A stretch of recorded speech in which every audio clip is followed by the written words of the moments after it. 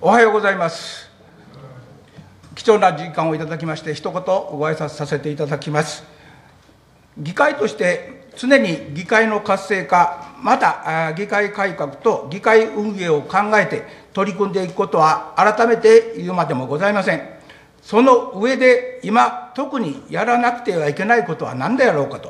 考えますと、思いのほか収まらない新型コロナウイルス対策であると考えます。もちろん対策は国、県の主導ではございますが、現場を預かる市として、市民の安全・安心な平和な生活を守る、また感染者を一人でも少なくしたい、それは誰もの思いであり、願いだと考えております。我々、辰野市民のために、理事者、職員の皆様と共に新型コロナウイルス対策に取り組んでまいりたいと考えております。何卒皆様のごご支援、ご協力のほどよろしくお願いいたします。